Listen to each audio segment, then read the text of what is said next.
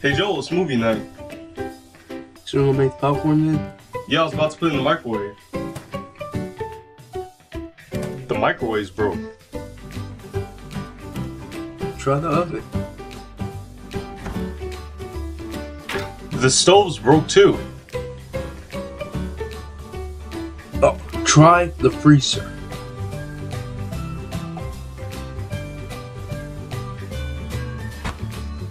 The freezer's broke too!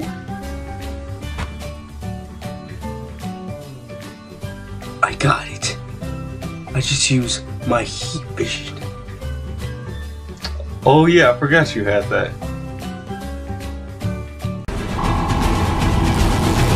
Whoa,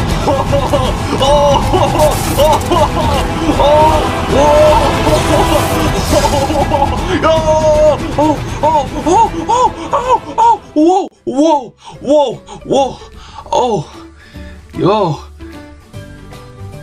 yes. So movie night can finally start. Yes, yes it can.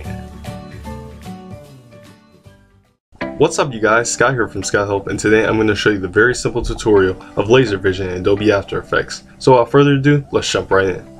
Open your video by pressing Ctrl I and drag it into the new composition icon. Add a null by going to Layer, New, Null Object and rename it Right Eye.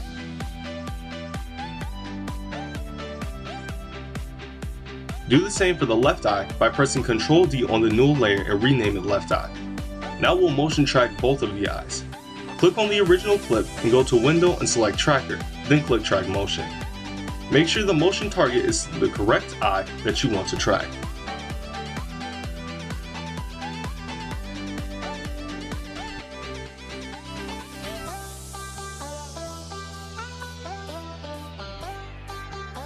Now click the play button to analyze four. If the eye moves too fast in the shot, then track it manually by pressing the farthest right button on the Analyze option, then going frame by frame. Another way to move one frame forward is by holding Ctrl plus the right arrow key. For more information about tracking manually, there's an entirely separate video on my channel that covers this topic. You can go to it by clicking the link in the description or clicking right here.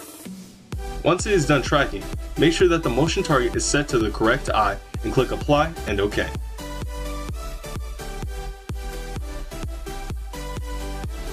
Do the same process with the other eye.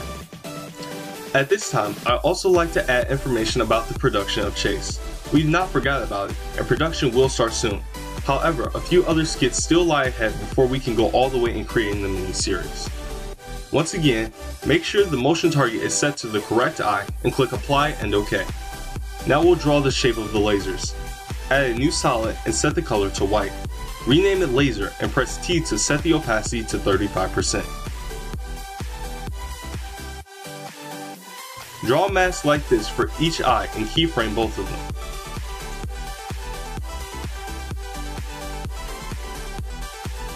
Move about 3 frames forward and every 3 frames reposition the origin of the lasers.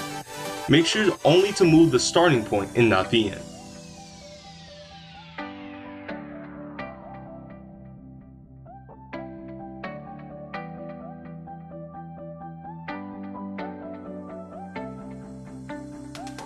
Pre-compose the layer solid and make sure to move all attributes into the new composition.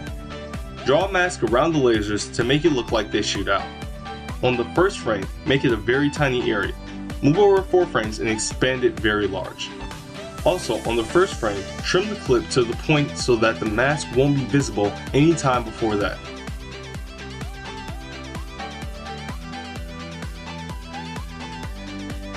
Now pre-compose the layer once you animate the mask correctly and trim the video to start when the laser first appears. Go to the effects and presets and add turbulent displace to the laser composition. Set the amount to 98 and the size to 6. Keyframe the offset to start at 1200 and go to the last frame and set it to 0. Then change the complexity to 2.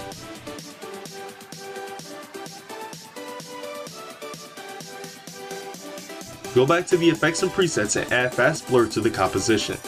Set the blurriness to 5. Then add directional blur to your video and set the direction to where your laser is pointing. Once you do this, pre-compose this layer again.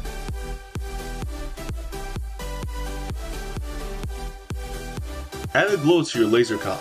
Set the threshold to 12, glow radius to 75, and change the glow colors to A and B colors. Then set color A to yellow.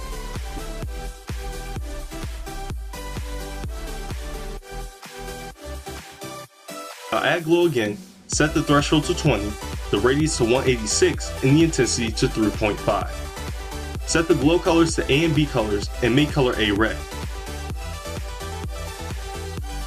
The next step to do is add lens flare to your actor's eyes. Press Ctrl Y and make the solid black. Then go to the effects and presets and add lens flare.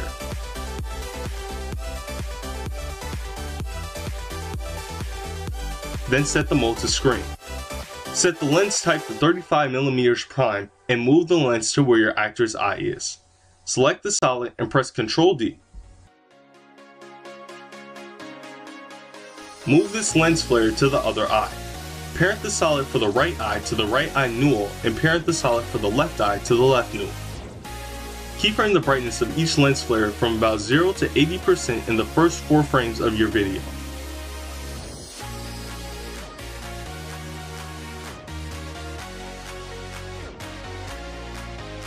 Once you do this, add a glow to your solid and set the threshold to 95, radius to 1000, and the intensity to 3.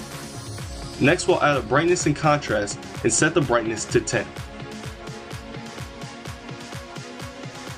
Then add a hue and saturation effect and click colorize. Set the colorize saturation to 75. Copy all this information to the other solid by holding Ctrl while selecting each effect. Then press Ctrl C to copy the info and go to the other solid and press Ctrl V.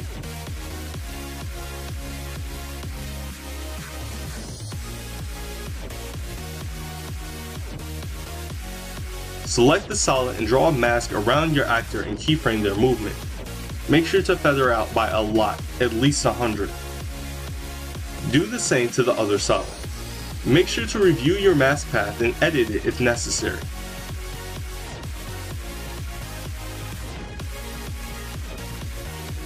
I am now pre-composing all of my layers so that I can change the contrast of the video.